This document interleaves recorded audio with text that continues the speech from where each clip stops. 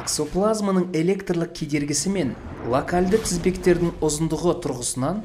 гигантты аксондар импульстарды жұқа аксондарға қарағанда неліктен тез өткізетінін түсіндіріңіздер